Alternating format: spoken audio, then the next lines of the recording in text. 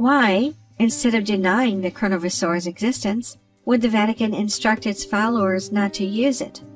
Could it be because the Vatican actually had the chronovisor device hidden away deep in its secret archives? But if not a window into the past, perhaps what is hidden in the Vatican secret archive is a look into the future. On May 13, 1981, Pope John Paul II was shot four times in an attempted assassination by a gunman in St. Peter's Square at the heart of Vatican City. The Pope was badly wounded, suffering severe blood loss as he was rushed to the hospital. Yet, somewhat miraculously, he survived. As he recovered, he began to attribute his survival to Our Lady of Fatima, the Catholic title for the Virgin Mary, publicly stating, One hand pulled the trigger and another hand guided the bullet. Once he was back on his feet, he even traveled to the city of Fatima to place the bullet which had passed through his chest into the crown of an image of the Virgin Mary, thanking her for her protection. Why would he do this? The answer lies in something that happened 64 years to the day before the assassination attempt. On May 13, 1917, three children in the city of Fatima, Portugal, received the first of numerous shared visions in which they were purportedly visited by the Virgin Mary. According to the children, the Virgin Mary revealed to them three secrets. These became known as the Three Secrets of Fatima. At the time, the world outside of Fatima, embroiled in World War I, paid little attention to the Portuguese children and their story, and in fact, the supposed three secrets might have been forgotten altogether, if not for a local bishop. Remembering the story in 1941, the bishop got the last of the children still alive at that point a nun named Sister Lucia to write down the secrets in an official document. According to her words, the first secret had revealed to the children the suffering of the souls of the damned. Our Lady showed us a great sea of fire which seemed to be under the earth. Plunged in this fire were demons and souls in human form, like transparent burning embers, all blackened or burnished bronze, floating about in the conflagration now raised into the air by the flames that issued from within themselves, together with great clouds of smoke, now falling back on every side like sparks in a huge fire, without weight or equilibrium, and amid shrieks and groans of pain and despair, which horrified us and made us tremble with fear. The second secret seemed even more prophetic. It predicted the end of World War I, still ongoing in 1917, but the start of an even worse war shortly after. Our Sister Lucia wrote, The war is going to end, but if people do not cease offending God, a worse one will break out during the pontificate of Pope Pius XI. When you see a night illuminated by an unknown light, know that this is the great sign given you by God, that he is about to punish the world for its crimes, by means of war, famine, and persecutions of the Church and of the Holy Father. The good will be martyred. The Holy Father will have much to suffer. Various nations will be annihilated. In the midst of the Second World War, when this was revealed in 1941, the secret seemed particularly poignant, and the three secrets of Fatima began to achieve mainstream recognition. But what was the third secret, everyone wondered. Cryptically, Sister Lucia would not reveal the third secret, proclaiming she had not been authorized by God to share it why would God not mind that the first two were shared, but be against the third? Two years later, having taken ill with influenza, Sister Lucia was ordered by the bishop to write down the third secret, a demand to which she relented lest she die and the secret be lost forever. The secret made its way to the Vatican and into their archives, sealed within an envelope with the shadowy instructions not to open it until 1960, when it will appear clearer Yet, when the time came in 1960, the Vatican released an official statement which announced that it was most probable the secret would remain forever under absolute seal. This led to much speculation. What could the secret reveal that would be so dramatic as to necessitate being suppressed forever? As it was the height of the Cold War, the New York Times even speculated that the third secret might foretell worldwide nuclear annihilation. Finally, in 2000, the Vatican came forward and released what they said was the text of the third secret. It spoke of a bishop dressed in white, killed by a group of soldiers who fired bullets and arrows at him, and how, in the same way, there died one after another the other bishops, priests, men and women religious, and various lay people of different ranks and positions. These words, the Vatican asserted, must be interpreted as symbolic language referring to the 1981 assassination attempt on Pope John Paul II, the bishop dressed in white, of which the secret spoke. It seemed the pieces of the puzzle had finally, more than 80 years later, been put together. Or had they? As the Vatican informed the public that the much ballyhooed Third Secret had to do with a failed assassination attempt 20 years past, many were left thinking, that's it? Why the decades of secrecy? Why the absolute seal? Why the initial prohibition from God for something so relatively unremarkable? Some say the answer is simple. The third secret the Vatican released was not the actual third secret, but rather a fabrication. Shortly after the alleged third secret was revealed in 2000, a news article appeared which claimed to present an interview with then Cardinal Ratzinger, who would go on to become Pope Benedict XVI in 2005. According to the article, Ratzinger told the interviewer, There is more than what we published to the third secret.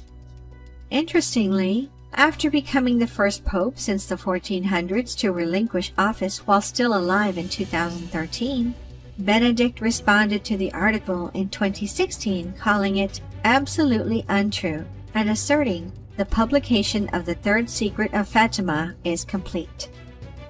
Curiously, this was the first, and to that point only, official statement Benedict had made as Pope Emeritus. Why comment on an article nearly two decades old and not any of the multitude of other things facing the world? To this day, there are many who believe there is more to the Third Secret than the Vatican has published, including those within the Vatican itself. In fact, Benedict himself proclaimed in a 2010 speech in Fatima that we would be mistaken to think that Fatima's prophetic mission is complete.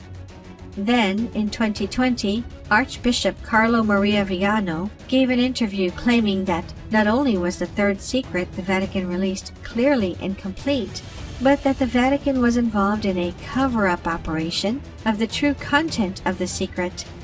If there is a cover-up, then a cover-up of what? It is interesting to note that back in 1980, almost a year before the attempt on his life, Pope John Paul II gave a speech in Germany in which he said of the third secret, if there is a message in which it is said that the oceans will flood entire sections of the earth, that from one moment to the other millions of people will perish, there is no longer any point in really wanting to publish this secret message. It is dangerous to want to satisfy one's curiosity only if one is convinced that we can do nothing against a catastrophe that has been predicted. Four years later, after the Pope had been shot and long since recovered, an article appeared in Jesus magazine in which then Cardinal Ratzinger gave an interview claiming he had read the Third Secret and that it related to dangers threatening the life of the world. More alarmingly, the article asserted that Ratzinger had confirmed that the third secret was essentially the same as another prophecy which had been revealed in 1973 in Akita, Japan. There, the Virgin Mary had purportedly appeared to a nun and delivered a stunning message. The Father will inflict a terrible punishment on all humanity. It will be a punishment greater than the deluge, such as one will never have seen before. Fire will fall from the sky and will wipe out a great part of humanity, the good as well as the bad, sparing neither priests nor faithful.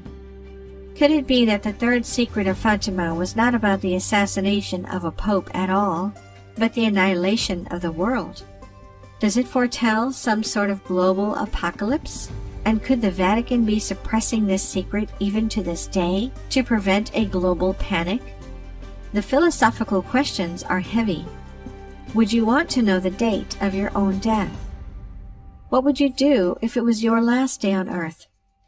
More simply, if we're all going to die, shouldn't the Vatican tell us? Moreover, if they wouldn't even tell us about the end of the world, what else might they not be telling us? In 1988, news reports emerged alleging that strange, elongated, distinctly alien looking skulls had been found during a restoration of the Vatican Library. Rampant speculation ensued, with many suggesting that the Vatican secret archives must be hiding evidence of extraterrestrials.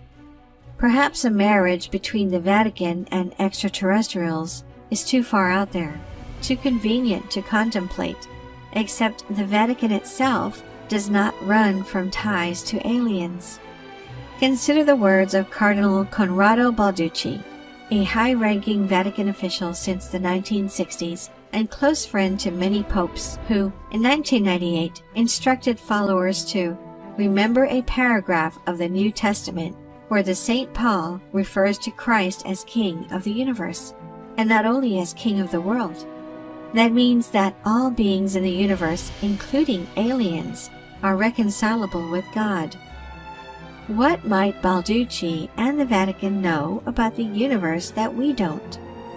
In 2009, the Vatican held its first International Astrobiology Conference, bringing together top scientists from around the world and Vatican astronomers to discuss extraterrestrial life as legendary American astronaut Gordon Cooper, one of the original seven people sent to space by the United States, asserted, You want to know about UFOs and little green men? Contact the Vatican. In fact, even the current Pope, Pope Francis, has publicly declared that he would be willing to baptize aliens, asking rhetorically, Who are we to close doors? Far from closing doors, the Vatican freely seeks to open them. In Tucson, Arizona, the Vatican works with world governments and astrological associations to scour deep space for signs of extraterrestrial life using some of the most powerful telescopes on Earth at the Mount Graham International Observatory. Curiously, the instrument which powers the most formidable of the observatory's telescopes is known as the Large Binocular Telescope Near Infrared Utility with Camera and Integral Field Unit for Extragalactic Research, or LUCIFER for short. Yes, the Vatican is searching for aliens using a telescope named after the devil. So what does the Vatican know about aliens that we don't? About the devil, about the past and the future. Whatever it is, it is most certainly housed deep within their impregnable secret archives. Thank you for watching. If you enjoyed the video, please hit the like button, and if you're new, hit subscribe and the bell next to it for future notifications.